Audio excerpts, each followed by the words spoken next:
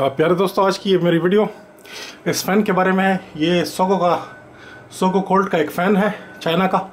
जैसा कि आप देख सकते हैं ये बारह वोल्ट के छः वोल्ट का फ़ैन है एक्चुअली बारह वोल्ट के भी फ़ैन होते हैं। डीसी सिक्स वोल्ट का फ़ैन है और 220 वोल्ट इसकी पावर है। पीछे से इसकी पावर 220 वोल्ट है। पावर सप्लाई के ज़रिए 6 वोल्ट में अडेप्ट किया जाता है। 220 वोल्ट को 220 वोल्ट को 6 वोल्ट में कन्वर्ट किया जाता है, सीधी सी बात। तब्दील किया जाता है। अच्छा फिर मसला क्या होता है कि इसके अंदर एक बैटरी है जो कि चार्ज होती है छः वोल्ट की। और फिर इन स्विचेस के ज़रिए इस फ़ैन को चलाया जा सकता है। अब मैं दिखाता हूँ आपको किस तरीके से पहले पावर स्विच ऑन करते हैं। इस तरीके से। अच्छा उसके बाद फिर जो है तो ये फ़ैन देखें कि घूम गया लेकिन ये चलता नहीं है। अच्छा ये पावर की एलईडी आ गई है। ये देख सकते हैं आप। अच्छा ये एलईडी चार्जिंग की है, जब चार्ज करते हैं बैटरी से इसको तो फिर उस बिजली से चार्ज करते हैं तो उस वक्त ये एलईडी आ जाती है। अच्छा इसके बाद हम एलईडी को देखते हैं। इसके अंदर एलईडी लगे हुए ये हैं, जो कि रोशन होते हैं। ठीक है जी फ़ैन बदकिस्मती से इसका नहीं चल रहा। ये। अच्छा पावर ऑन होना चाहिए पावर इस वक्त ऑन है, लेकिन फ़ैन इसका ऑन नहीं होता। तो क्या प्रॉब्लम है इसके अंदर? वो हम देखते हैं।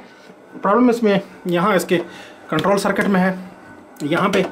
तो हम इसको थोड़ा सा मॉडिफाई करेंगे चेंज करेंगे ये प्रेस स्विच के ज़रिए कंट्रोल किया हुआ है। हम्म, तो जो है हम इसका फ़ैन सेक्शन जो है उसको देखेंगे किस तरीके से हम करते हैं। तो इसके लिए जो है हम इसकी पावर ऑफ़ कर देते हैं। उसके बाद इस फ़ैन को ज़रा साइड पे रख के ना मैं आपको दिखाता हूँ किस तरीके से करते हैं। ये।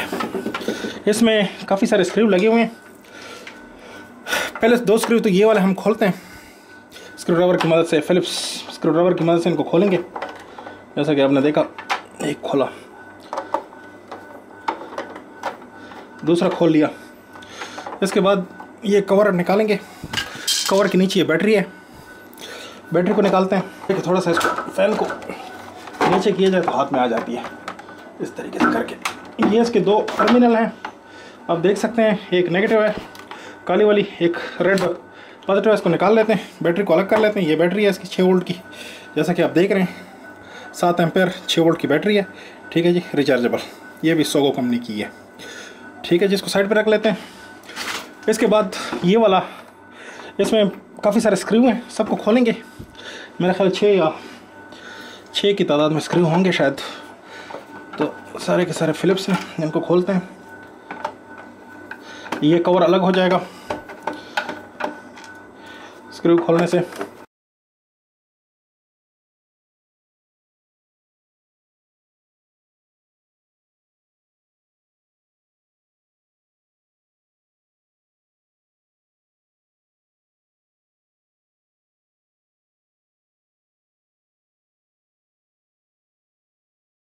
कैमरा को मैं थोड़ा साइड एंगल से चला रहा हूँ, वजह इसकी ये है कि काफ़ी बड़ा है ये फ़ैन साइज़ में। तो मजबूरन साइड साइड से चलाना पड़ता है। सारे स्क्रू निकाल लिए। अब ये वाला जो नट है, ये इसके पोस्ट का नट है, डंडे का, जो पेडेस्टल का डंडा है, ये वाला इसका नट है, इसको खोल लेते हैं प्लास्टिक का। तब ये कवर अलग होगा, वरना नहीं अलग होगा। तो ये मैंने हटा दिया नट इसके बाद थोड़ा सा इसको खींचेंगे तो ये बाहर आ जाएगा। तो जनाब ये चीज़ बाहर आ गई। अब मैं आपको दिखाता हूँ कि इसको किस तरीके से ये इसका सर्किट है। ठीक है जी, ये इसकी पावर सप्लाई है। ये यहाँ ये इसकी पावर सप्लाई है। ठीक है जी, इसके बाद यहाँ इसका ये सर्किट है। ठीक है जी, ये फ़ैन का सर्किट है स्विच का सर्किट ये है और ये जो है, ये इसके बाकी का जो सिस्टम है चार्जिंग का और जो भी सिलसिला है चार्जिंग की पावर सप्लाई ये है, यहाँ से पावर जाती है, ये दो तारों के ज़रिए, फिर इसमें हो के चलती है। ठीक है जी, यहाँ पे स्विचिंग होती है फ़ैन के लिए सब मसला। अच्छा प्रॉब्लम इसमें ये आती है कि इसके अंदर एक आईसी लगा हुआ है, ये ये आईसी लगा हुआ है। तो ये एक फ्लिप फ्लॉप सर्किट इन्होंने तश्कील दिया है, जो कि काफ़ी मुसीबत चीज़ है। तो वो उससे जान छुड़ाते हैं, ये चीज़ नहीं होनी चाहिए। इसकी जगह हम एक अच्छा सा ये वाला ऑन ऑफ़ स्विच लगा सकते हैं, जो कि खूबी से हमें काम देगा। ये पुराने इसका है मैं इसको अलग कर दूँगा। ये किसी टोस्टर वगैरह सॉरी किसी जूसर वगैरह का है अच्छा है अच्छा स्विच है तो इसको हम यहाँ पे किसी जगह, यहाँ किसी जगह कटिंग करके तो स्विच को लगा देंगे, बाहर की तरफ़ आ जाएगा, और टर्मिनल्स को कनेक्ट करके हम इसके सर्किट को चला देंगे। तो वो सारी तफसील मैं आपको इस वीडियो में बताता हूँ कि किस तरीके से करेंगे। जैसा कि आप देख रहे हैं, ये स्विच मैंने यहाँ पे लगा दिया है। इसके लिए थोड़ी सी ये बॉडी काट के ना मैं नीचे से आपको दिखाता हूँ। तो ये मैंने इसमें लगा दिया ऑन ऑफ़ के लिए। ये नीचे ऑफ़ ऑन और ऊपर ऑफ़ तो इस तरीके से। अभी मेन जो चीज़ आती है वो इसके कनेक्शंस हैं। वो बड़े इंपॉर्टेंट हैं वो मैं आपको दिखा रहा हूँ। बड़े अहम हैं कि किस तरीके से हम करते हैं। हम्म, वो अहम बात है। ये स्विच ये लगा हुआ है। ठीक है जी। अब देख रहे हैं मैंने ये जगह काट के ना इसमें इसको लगा दिया है। थोड़ी सी ड्रिलिंग करके और थोड़ा सा नाइफ़ के ज़रिए काट के तो मैंने इसको लगा दिया।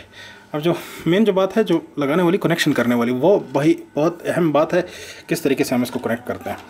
तो ये सब मैं आपको तफसील दिखा रहा हूँ। इसके लिए सबसे पहले तो आपको मीटर चाहिए। मल्टीमीटर को ओहम रेंज पे कीजिए। ठीक है जी। और फिर जो है ना ओहम रेंज पे करके ना तो मैं आपको दिखाता हूँ, ये बैटरी की तारें हैं। जिससे हमने बैटरी अलग की थी। रेड पॉजिटिव है और ये जो काली है ना, ये नेगेटिव है।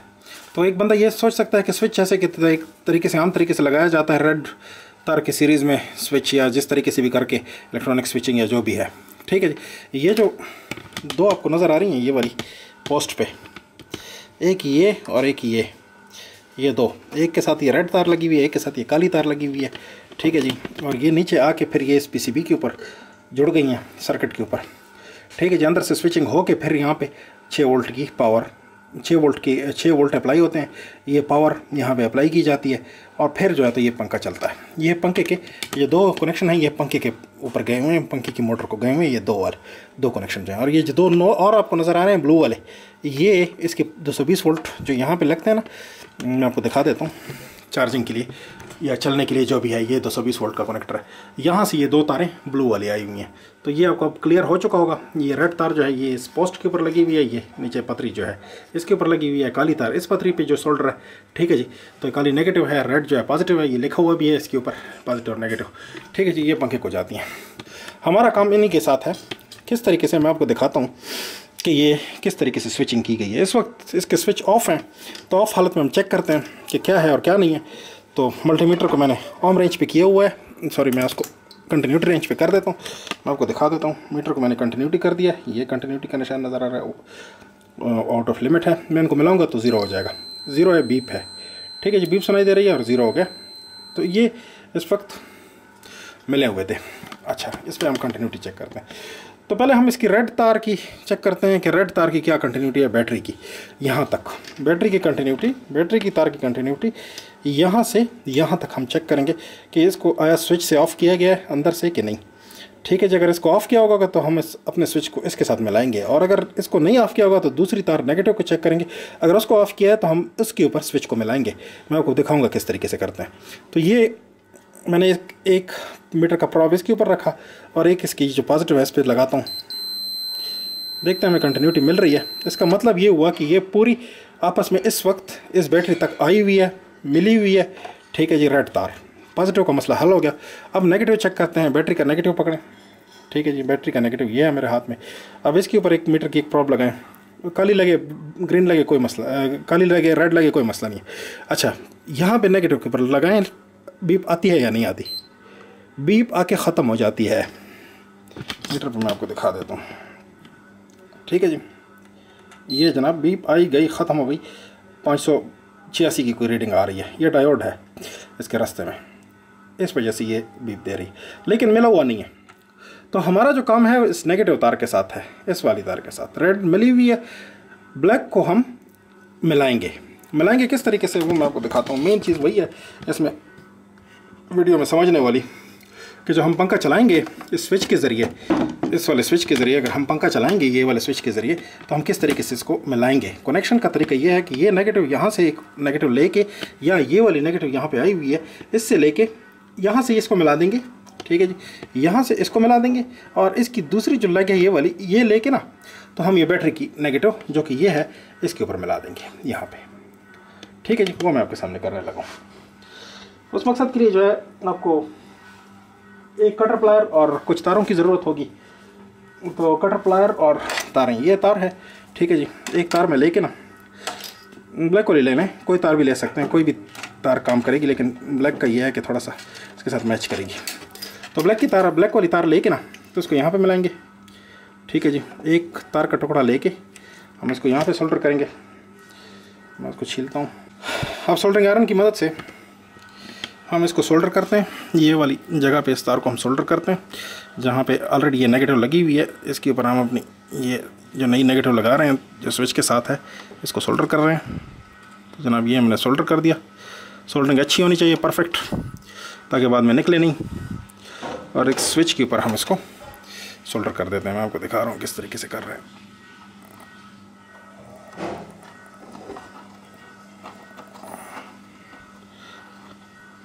ये मैंने सोल्डर कर दिया जनाब। थोड़ा सा लाइट का मसला है, शायद नज़र आए। ठीक है जी। अच्छा ये एक तार सोल्डर हो गई यहाँ इस पोस्ट से स्विच तक। अब एक स्विच के दूसरे प्रोंग से या दूसरे टर्मिनल से बैटरी तक, ये बैटरी का ये टर्मिनल है, यहाँ तक हम इसको सोल्डर करेंगे। तो बैटरी का नेगेटिव यहाँ तक आया हुआ है। ठीक है जी, ये बैटरी का नेगेटिव लगा हुआ है यहाँ तक आया हुआ है तो मैं यहाँ पे इसको सोल्डर कर देता हूँ इसके साथ। तो जनाब, ये एक तार मैं लेके ना इसको मैं इसके ऊपर सोल्डर कर दूँगा।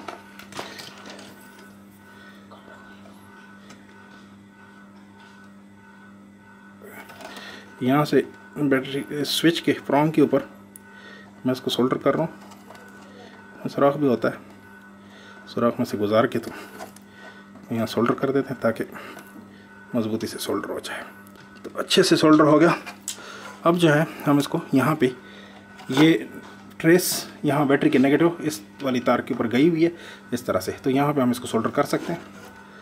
थोड़ा सा तार को ढीला छोड़िए, ताकि बाद में मरम्मत वगैरह करने में आसानी रहे। बहुत ज़्यादा इसको टाइट नहीं करेंगे। इस तरीके से करके तारें अच्छी मज़बूत लगाएँ। अच्छी कॉपर की तार होनी चाहिए, ताकि बाद में फिर करंट करंट की डेंसिटी और ये वो मसले मसाले ना बने। अच्छा ये हो गया। अब इसको यहाँ पे हम सोल्डर कर देते हैं। टर्मिनल्स पे ये सारा एक ही है। ये मैंने सोल्डर कर दिया। ठीक है जी। अब हम इसको टेस्ट करते हैं चेक करेंगे।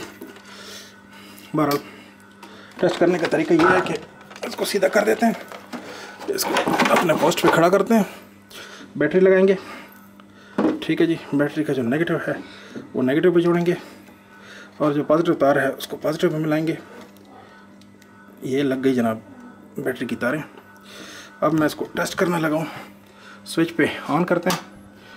देखिए फ़ैन चलने लगा। स्विच ऑन करने पर और फिर ऑफ़ करता हूँ। तो देखिए फ़ैन ऑफ़ हो गया। ठीक है जी। ये था, एक दोबारा मैं ऑन करता हूँ। ये ऑन हो गया। फ़ैन चलने लगा। ठीक है जी बैटरी चार्ज करना मांगती है चार्ज करेंगे तो ये मसला ठीक हो जाएगा। लेकिन अब इसका ताल्लुक इन स्विचेस के साथ नहीं रहा। इसका सिर्फ़ एलईडी का जो ताल्लुक है, वो है, ये एलईडी जो है, ये स्टिल अभी तक इसके साथ हैं, लेकिन जो फ़ैन है, उसका स्विच ये हो गया हमारा। ठीक है जी? तो ये हमारा फ़ैन का स्विच हो गया, और ये ऑफ़ हो गया। तो इस तरीके से ये हमारा है। तो उम्मीद करता हूँ कि आपको ये वीडियो पसंद आई होगी। तो मैंने सब कुछ आपके सामने कर दिया है और उम्मीद है कि आपको इसकी बहुत अच्छी समझ आ गई होगी इस फ़ैन की और जो हमने इसको सर्किट मॉडिफाई किया या स्विच लगाया, इसकी भी आपको समझ आ गई होगी। बहुत शुक्रिया। और मेरे चैनल को लाइक कीजिए, इस वीडियो को सब्सक्राइब कीजिए मेरे चैनल को। आपको ऐसी बहुत सारी वीडियो मेरे चैनल पर मिलेंगी, जो बहुत करामद आपके लिए साबित होंगी।